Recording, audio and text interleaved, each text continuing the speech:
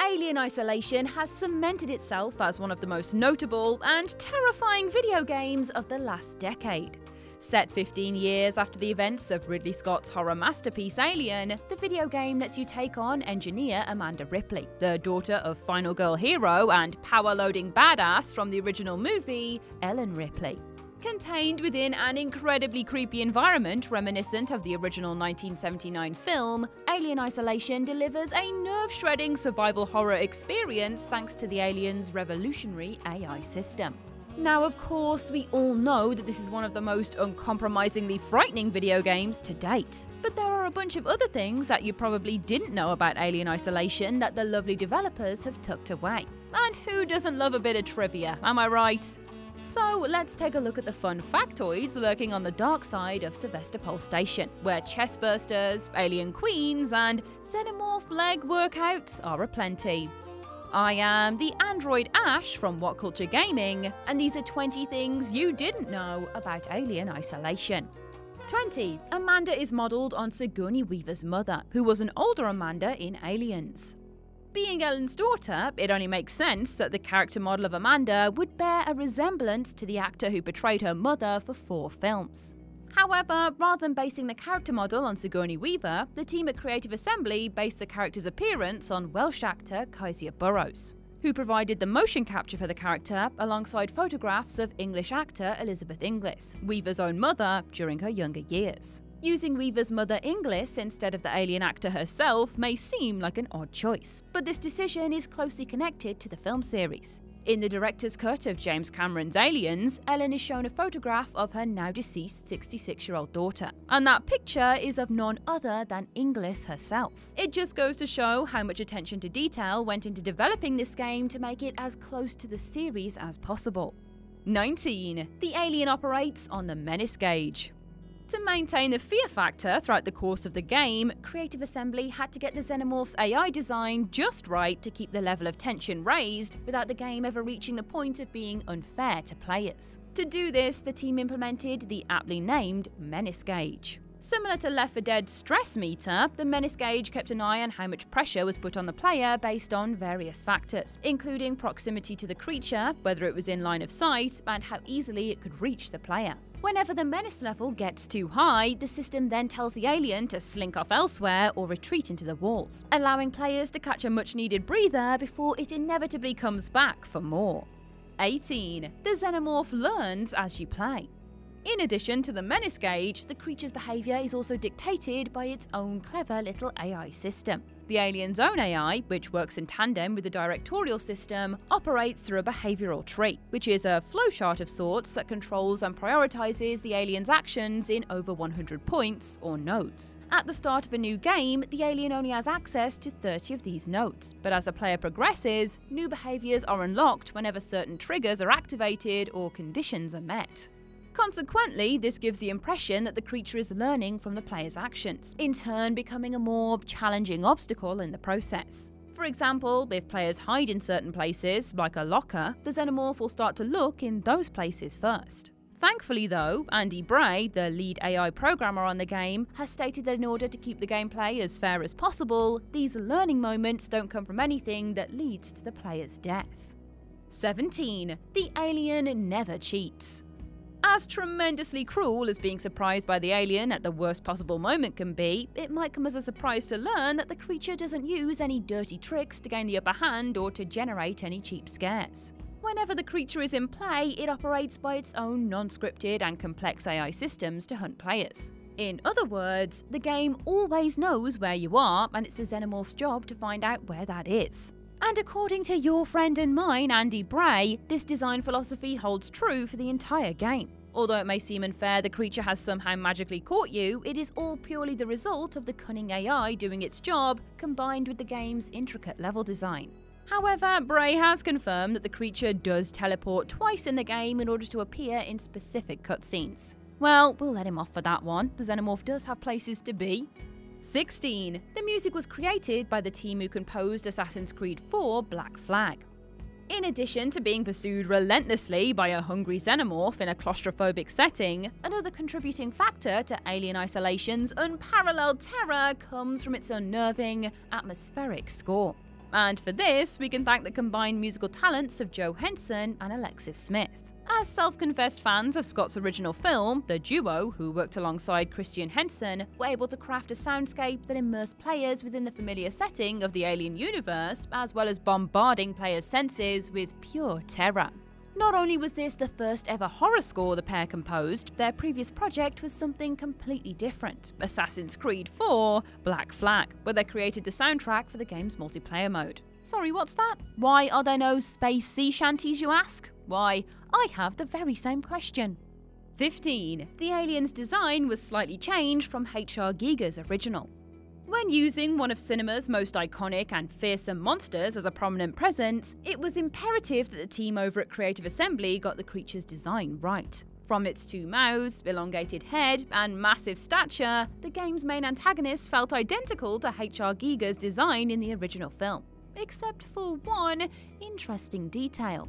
Whereas in the film, the alien had human like legs, it was a man in a rubber suit, after all, the video game counterpart's legs featured an inverted knee to give them a more curved look. Originally, the alien in the game did feature the same leg design as the film, but after playing the game, the team felt as if there was something off about the legs. It looked like the alien just couldn't move fast enough. The inverted knee was then introduced to get around the issue. The idea was it would give the creature's hams a more spring like look, and give the impression it could move quickly if it needed to. How's that for leg day? 14. The sound dynamically changes to emphasize the xenomorph. The importance of sound design in video games, especially horror games, should never be underestimated. Sound makes up a large part of the game's environment, fills players in on contextual clues, like the telltale bleeping of the game's save stations, and can alert them to the presence of enemies, something that's made all the more crucial when the enemy in question is a deadly xenomorph.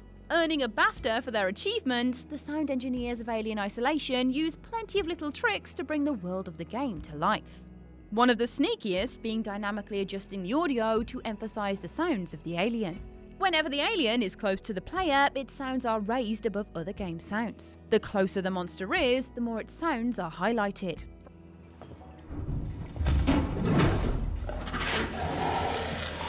From a gameplay perspective, this makes it easier for players to detect their hunter and plan their escape. But conversely, it heightens the stress and tension levels tenfold knowing the creature is nearby. 13. 20th Century Fox gave Creative Assembly 3 terabytes of data to work with. One of the biggest achievements of Alien Isolation is undoubtedly how faithful its design is to the aesthetic and atmosphere of, of the retro-futuristic world of the 1979 film. From the haunting sound design, the chunky computers, and those adorable drinking bird desk toys scattered throughout Sevastopol, playing this game feels like stepping straight into the universe that Scott created. This much attention to detail could not have been easy. But thankfully for the team at Creative Assembly, 20th Century Fox, who owned the rights to the film, were generous to give them a whopping 3 terabytes of archived data from the film's production to help them in their endeavours. Containing everything from details on prop design, original recordings of sound effects, and behind the scenes photos and videos, plenty of which had never been revealed to the public, this was a bona fide treasure trove of information. 12. All items had to look like they were from 1979. As mentioned, part of what made Alien Isolation so remarkable was just how faithfully the design team were able to recreate the distinctive look of the original film. Most of which revolves around the clunky analog technology that players spend a lot of their time interacting with during their time aboard the Sevastopol. Thanks to all the reference information that was available to the team, recreating the props and areas that were featured in the film was simple enough. But the real challenge came whenever they had to introduce new items into the world they were building. In order to stay consistent with the alien aesthetic, the team limited themselves to basing these props on technology that was available in 1979. The hacking tool, for example, which is one of the main gameplay mechanics, was based on Cold War era technology. Similarly, the motion tracker was designed to look and feel unreliable. 11. Kezia Burrows was originally supposed to voice Amanda Ripley.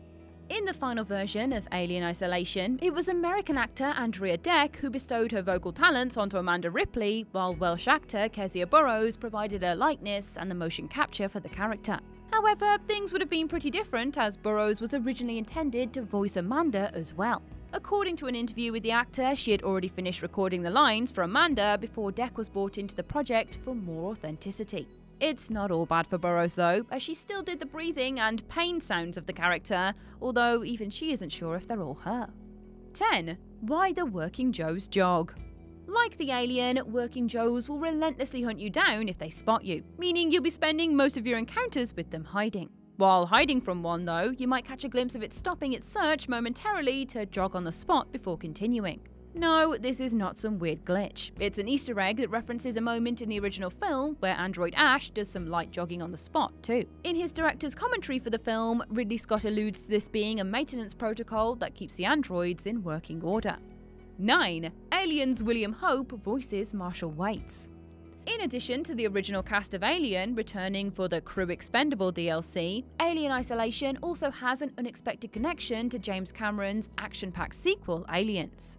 William Hope, who portrayed incompetent but well meaning Lieutenant Gorman in Aliens, provides a voice for the equally incompetent but immensely cold hearted Marshal Jethro Waits in Alien Isolation. Not only does Waits' short sighted decision making skills play a sizable role in the devastation of Sevastopol, his cruelty sees him attempt to kill Amanda by using her as bait to trap the creature before jettisoning them both into space. At least Gorman was able to redeem himself in Aliens before he meets his end we didn't even get the satisfaction of seeing Waits meet his demise at the hands of the androids in the game. 8. Anesidora is an alternative name for Pandora. What would the Alien franchise be without any apt metaphors on life and mythology? As such, Alien Isolation also contains a subtle, if a little on the nose, parallel to these themes that have coursed through the series. A ship named the Anesidora. In the context of the game's plot, this vessel is what originally brings the Xenomorph onto the Sevastopol after its crew stumbles across the same alien nest Nostromo's crew finds 15 years prior. In Greek mythology, Anesidora is an alternative name for Pandora, whose curiosity led her to opening a box that released evil into the world as punishment for humanity accepting stolen fire from Prometheus. The alien nest is the metaphorical box, and like Pandora, it was humanity's curiosity that led to the horrors that would ensue. 7. The original filmmakers have sneaky Easter eggs. Alien Isolation is full of plenty of sneaky Easter eggs and references to the original 1979 film for players to stumble across. One of these comes in the form of posters scattered throughout the deserted space station advertising a lounge singer named Jean Mollo. At first glance, this looks to be a quirky piece of set dressing promoting a suaved, moustached performer. However, this is actually a hidden reference to Oscar winning costume designer John Mollo and concept artist Jean Moebius Giraud, who were both involved in the making of Alien. As fans of Scott's film, it's only fitting that the team at Creative Assembly paid tribute to those whose work was the inspiration in creating the game. This isn't the only Easter egg of this kind either. An advert for Courtland Gold cigarettes gets its name from game producer Paul Courtland. 6. There was originally an alien queen. Late on in the game, players will encounter an alien nest bursting with eggs and crawling literally with face facehuggers. In Aliens, it's revealed that only xenomorph queens have the ability to lay eggs. However, those who have managed to survive the horrors of isolation will confirm that there is no queen to be seen in the game. That was not always the case though. According to an interview with lead game designer Gary Napper, there were originally plans to imply that a queen was definitely present. However, the team felt like this would seem like the game was building up to a boss fight with the Queen, which they believed wasn't in line with the tone that they wanted. That being said, the official art book for the game states that the Queen is present, even if she is never on screen. 5. A chestburster was cut from the final game. Out of all the deaths witnessed in Alien Isolation, the most hard hitting is that of Ricardo, one of Amanda's only true allies encountered on the Sevastopol. Unfortunately for Ricardo, he isn't able to make it out alive. When arriving at the area you're supposed to meet him at in the game, he is discovered with a facehugger attached to him. As grim as his fate is, he should count himself lucky though, as his death was intended to be far more graphic. As detailed by game writers Will Porter and Dion Lay, Ricardo was originally intended to be attacked by a facehugger earlier on in the game.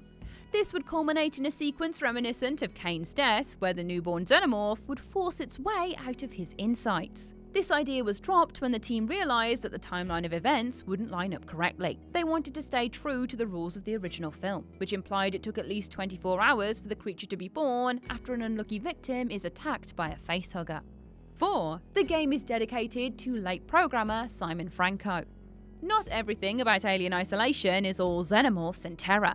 There's a bittersweet story in here too. On completion of the game, the credits begin with a moving tribute that dedicates the game to one Simon Franco, a veteran developer at Creative Assembly for 10 years who worked as a senior programmer on Alien Isolation. Simon Franco suddenly and tragically passed away in June 2014, just months before the game's October release. But what makes this sad story somewhat sweeter is that a special game jam, an event where small teams of developers create games from scratch in a short amount of time, dubbed Franco Jam, was held in his honour by friends and colleagues. This event continued to raise money for charities over the next four years until 2018. It's small gestures like this that highlight the humanity and teamwork that lies behind every project. 3. Crafting items spawn in randomised locations.